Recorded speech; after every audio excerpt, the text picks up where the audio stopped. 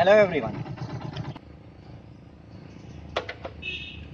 स्वागत है आप सभी का हमारे इस नई वीडियो में।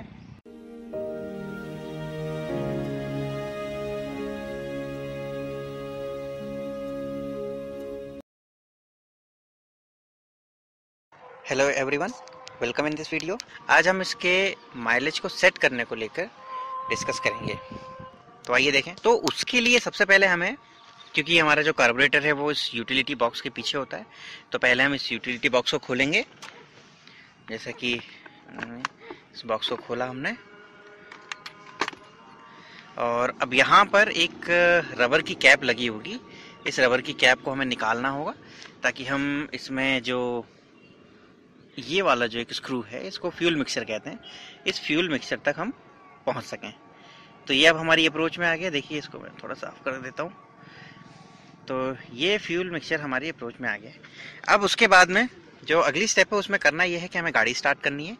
और गाड़ी स्टार्ट करने के बाद में जो एग्जिस्टिंग सेटिंग है, कोई चेंज नहीं करना उसमें और ना ही उसके फिक्स एक्सीटर को चेंज करना है। हमें सिर्फ़ और सिर्फ़ ये करना है कि इसको क्लॉकवाइज और एंटी क्लॉकवाइज बहुत धीमे धीमे घुमा के देखना है। और ऑब्ज़र्व करना है कि इंजन आरपीएम बढ़ता है या नहीं। आइए देखें इसको। तो उसके लिए हमें वही यूटिलिटी बॉक्स में सिर्फ़ एक स्क्रू ड्राइवर की ज़रूरत होगी। बाकी किसी भी चीज़ की हमें ज़रूरत नहीं है।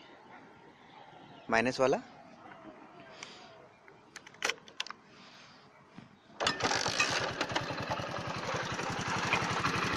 जैसे कि अभी आप साउंड को ऑब्ज़र्व कर पा रहे होंगे, ये लगभग 800 से 1000 आरपीएम के बीच में सेट है।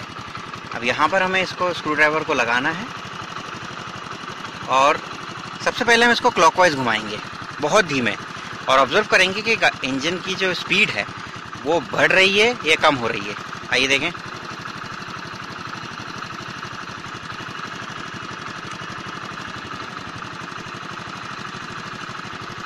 देखिए, जैसे कि क्लॉकवाइज घुमाने पर हमने देखा कि आरपीएम हल्का सा बढ़ा है।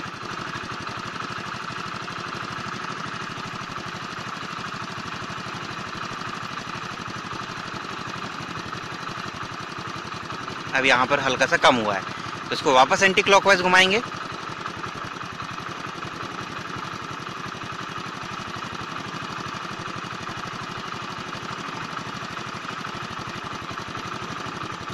यहाँ पर कम हुआ है।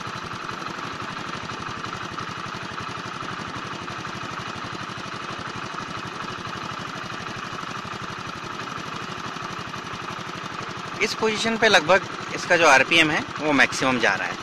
तो हम इसको यहीं पर एज इट इज़ छोड़ देंगे। और वापस अपने यूटिलिटी बॉक्स को लगा देंगे इसमें।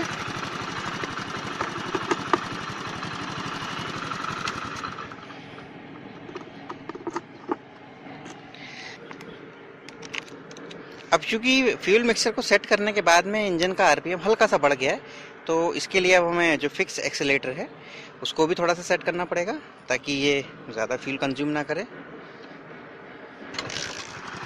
तो उसके लिए हमें इस तरफ़ आना होगा। यहाँ पर ये वाला जो स्क्रू है, ये हमारा फिक्स एक्सीटर होता है, उसको हल्का सा घुमाते हैं। देखिए, तेज हो गया।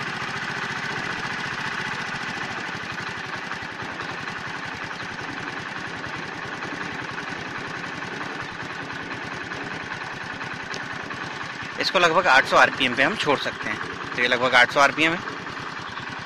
तो हमने इस तरीके से इसको छोड़ दिया।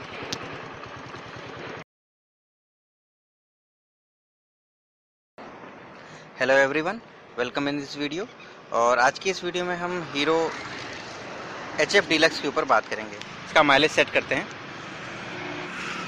तो गाइज़ जैसे कि हम आपको हर हर बार अपनी वीडियो में बताते हैं कि कार्बोरेटर को सेट करने के लिए हमें दो चीज़ों के बारे में पता होना चाहिए। तो इसमें जो पहला है हमारे पास में, वो होता है इसका ये, जिसको हम फिक्स एक्सेलेटर कहते हैं। और दूसरा होता है ये, यहाँ पर, ये होता है फ्यूल मिक्सचर तो इन दोनों की सहायता से हम इसका माइलेज सेट करेंगे।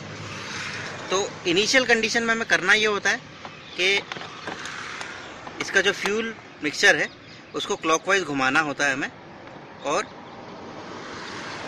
इतना टाइट करना होता है कि ये घूमना बंद हो जाए।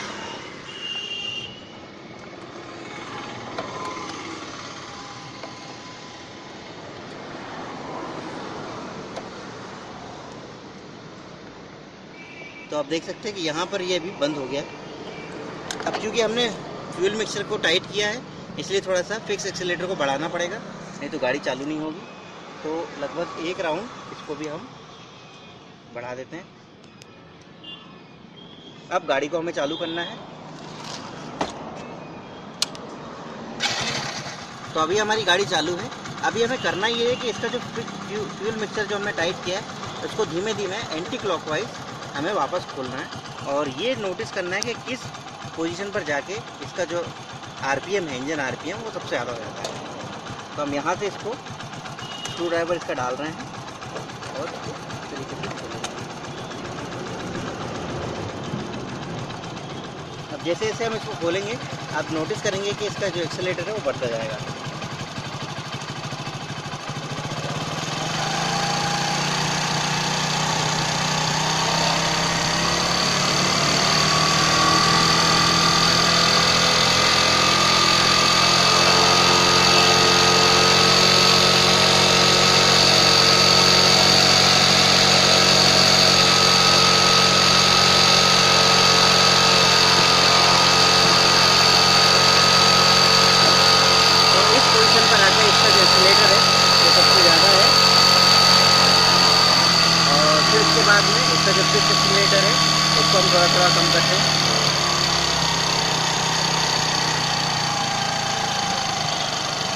एक हज़ार या आठ सौ आर के ऑप्टिमम लेवल पर लेके आए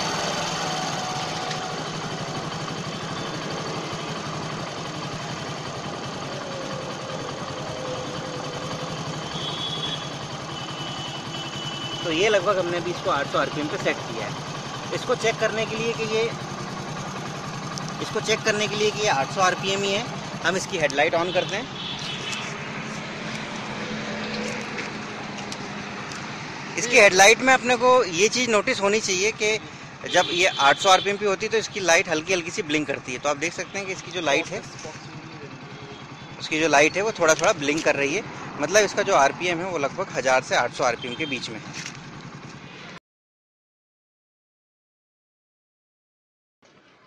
Hello everyone welcome in this video और इस वीडियो में हम पैशन प्रो के ऊपर बात करेंगे। आइए इसके कार्बोरेटर को एक बार ट्यून करने की कोशिश करते हैं। तो कार्बोरेटर को ट्यून करने के लिए सबसे पहले हमें जिन दो वॉल्व्स की ज़रूरत पड़ती है, उनमें से एक होता है फिक्स एक्सेलरेटर और दूसरा होता है इसका फ्यूल मिक्सचर तो फ्यूल मिक्सचर लकीली इस गाड़ी में लेफ़्ट हैंड की तरफ़ होता है। आपको ये जो पावर स्टार्ट जिसके ऊपर लिखा होता है, ये पैनल आपको खोल के अलग करना होगा। ये आसानी से अलग हो जाता है, इसमें कोई बड़ी बात नहीं है। अब उसके बाद में आप देख सकते हैं, यहाँ पर ये कार्बोरेटर दिया हुआ है। अब कार्बोरेटर में हमें जिन दो चीज़ों की ज़रूरत पड़ेगी, उनमें से ये पहला है, जहाँ पर आपको स्क्रू ड्राइवर की टिप दिख रही है। उस पर जूम कर लीजिएगा, दिख रहा है? वेरी गुड ये इसका फिक्स एक्सेलरेटर होता है, और ये जो ब्रास का एक स्क्रू दिख रहा है, जो कि अंदर की तरफ़ है, एक एंगुलर एंगल में है, ये होता है इसका फ्यूल मिक्सचर तो हम इन दोनों की सहायता से ही अभी इसका माइलेज सेट करेंगे। तो इनिशियली हमें करना ये होता है कि इसका जो ये फ्यूल मिक्सचर है, इसको क्लॉकवाइज हम घुमाते हैं और टाइट कर देते हैं थोड़ा सा। कई, हमारे कई सारे व्यूवर्स का ये क्वेश्चन होता है कि जब इसको टाइट करते हैं तो फ्यूल सप्लाई ऑफ़ हो जाती है। तो गाड़ी चालू कैसे होगी? हमारा, उनको ये जवाब है कि जब इसको टाइट करते हैं तो फ्यूल ऑफ़ नहीं होता है, जब, बल्कि फ्यूल का जो अमाउंट है वो मैक्सिमम हो जाता है। अब उसके बाद में हमें गाड़ी को स्टार्ट करना है, क्योंकि हमने फ्यूल सप्लाई को बहुत ज़्यादा कर दिया और एयर बहुत कम है। तो इससे इसका जो फ्यूल रेशो है एयर और फ्यूल का जो रेशो है, वो थोड़ा सा गड़बड़ा जाता है, इसलिए गाड़ी आसानी से स्टार्ट नहीं होती है। इसलिए हमें इसका फिक्स एक्सीटर भी थोड़ा सा बढ़ाना होगा। हम लगभग एक राउंड इसका फिक्स एक्सीटर बढ़ा देते हैं। अब इस गाड़ी को हम एक बार चालू करेंगे।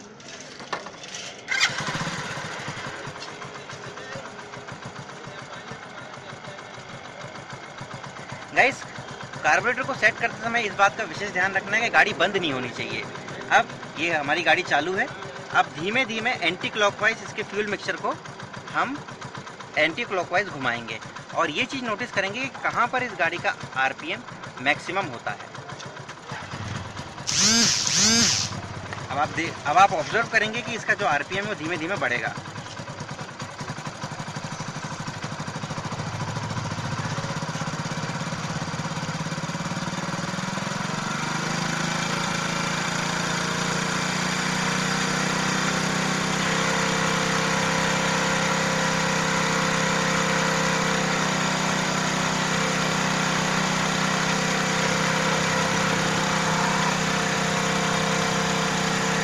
पोजीशन पर आके लगभग तीन राउंड घुमाने के बाद में हमारी जो इंजन आरपीएम है वो मैक्सिमम हो गया है। अब हम इसके फ्यूल मिक्सचर को अब हम इसके फिक्स एक्सीलरेटर को ऑप्टिमम लेवल पे लेके जाएँगे।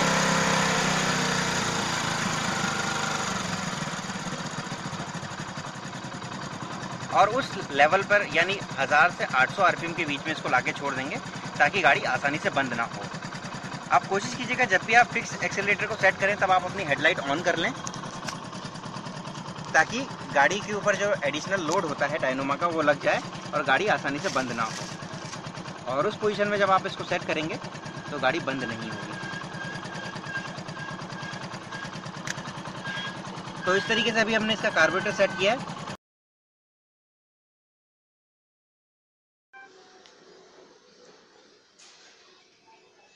Hello everyone welcome in this video आज की इस वीडियो में हम हीरो होंडा स्प्लेंडर ये जो अभी हीरो स्प्लेंडर के नाम से जानी जाती है, के माइलेज की कुछ बेसिक सेटिंग्स के बारे में डिस्कस करेंगे। तो ये हमारे टूल बॉक्स में निकले हुए कुछ बेसिक टूल्स हैं। इसमें हम देख सकते हैं कि ये प्लग पाना है और ये उसका एक होल्डर है। तो आइए इससे, इसकी मदद से हम इसके प्लग को खोलते हैं। आप देख सकते हैं कि इसमें काफ़ी मात्रा में कार्बन जो है, आया है। तो आइए सबसे पहले इसको साफ़ करें। और उसके बाद में इसके माइलेज को सेट करने की कोशिश करेंगे। माइलेज को सेट करने से पहले आपको इसके जो दो इंपॉर्टेंट कंटेंट हैं, जो कि माइलेज सेट करने के काम आते हैं, वो पहला ये होता है ऑटो एक्सीटर और इसको फिक्स एक्सीटर भी कहते हैं, और दूसरा होता है ये फ्यूल मिक्सचर देख सकते हैं ध्यान से फ्यूल मिक्सचर तो इसमें जो ऑटो ऑटो एक्सेलेटर या फिक्स एक्सेलेटर का काम होता है, वह गाड़ी के स्टैंड बाय आरपीएम को कंट्रोल करना। और जो फ्यूल मिक्सचर का काम होता है, वो होता है एयर और फ्यूल के रेशो को कंट्रोल करना। तो आज इन दोनों की मदद से ही हम इसका माइलेज सेट करेंगे। माइलेज को सेट करने के लिए सबसे पहले हमें ये जो फ्यूल मिक्सचर है, इसको पूरा टाइट करना होता है। इसको क्लॉकवाइज घुमा के इसको इतना टाइट कर दिया जाता है कि ये वापस इसमें कोई जगह ना रहे। मतलब ज़्यादा भी टाइट नहीं करना है, जैसे कि हमने अभी इसको कर रहे हैं। और तो फ्यूल मिक्सचर है, वो टाइट हमने कर दिया है। अब ये ज़्यादा नहीं घूम रहा है। अब आइए इसको एक बार चालू करते हैं और फिर इसको सेट करते हैं।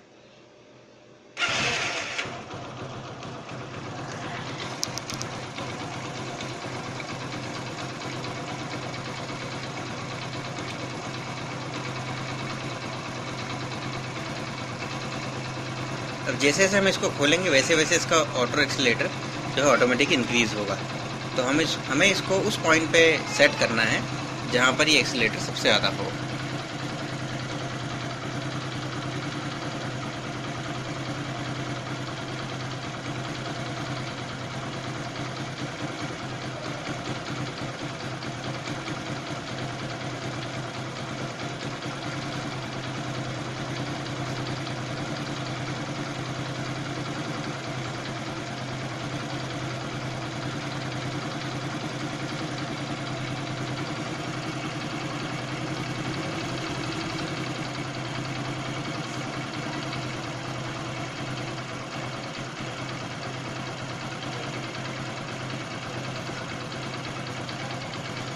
और इस फिक्स एक्सीटर के माध्यम से इसके आरपीएम को कंट्रोल कर लेते हैं। तो आपने देखा कि हमने पहले इसको फुल टाइट किया और उसके बाद में धीमे धीमे खोला और जिस पोजीशन पे आकर गाड़ी का एक्सीटर मैक्सिमम हो जाता है, वहाँ पर आके इसको हम छोड़ देते हैं और उसके बाद में इस फिक्स एक्सीटर से इसको सेट करते हैं।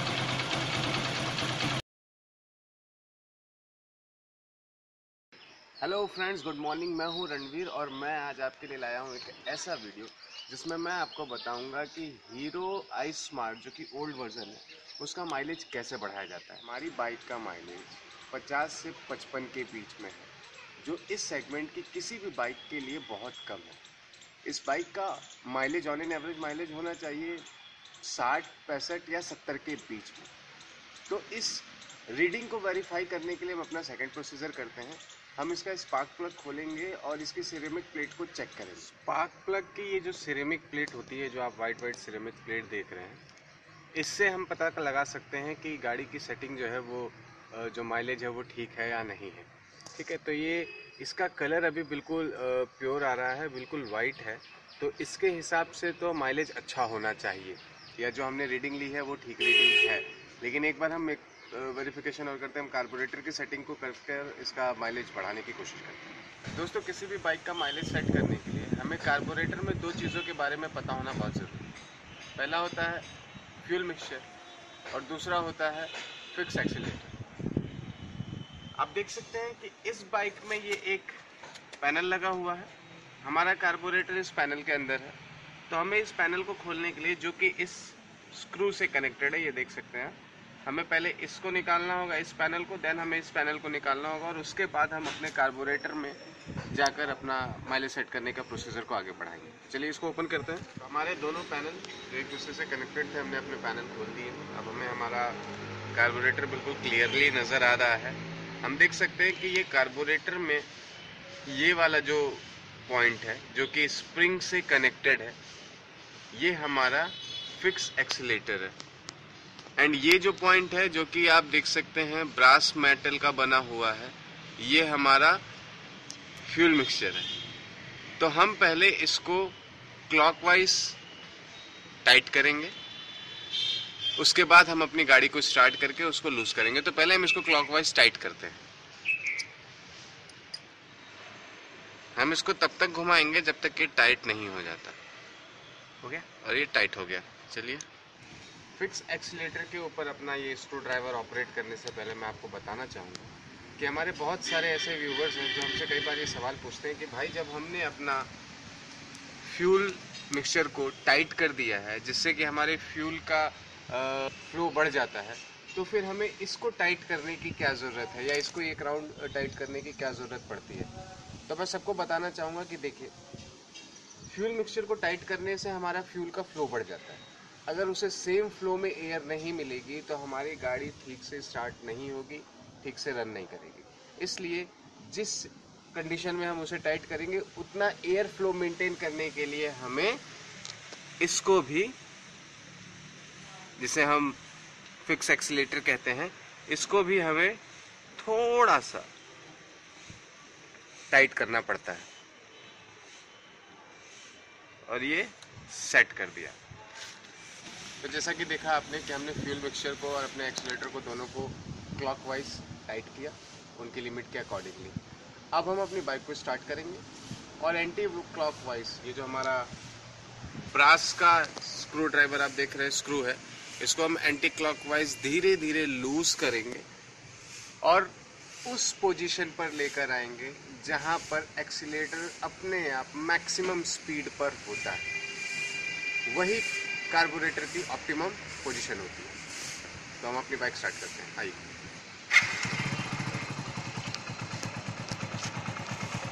बाइक स्टार्ट हो गई। एंटी क्लॉकवाइज हम इसको धीरे धीरे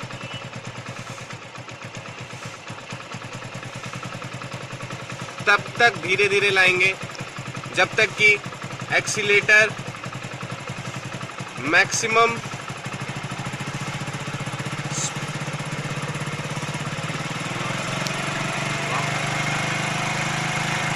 आप देख सकते हैं साउंड बदल रहा है। बिना हमने रेस दिया एक्सीटर को अपने मैक्सिमम स्पीड तक पहुँचाया।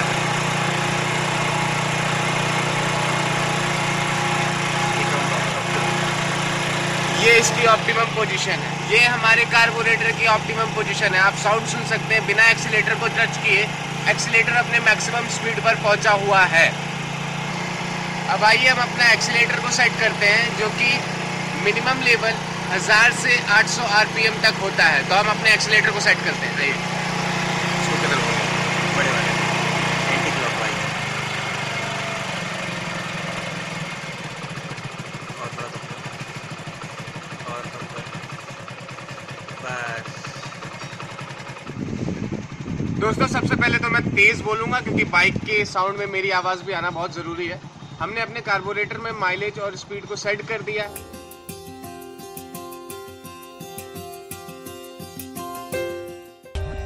For more updates, subscribe to our channel, Click the show links and enjoy watching the video.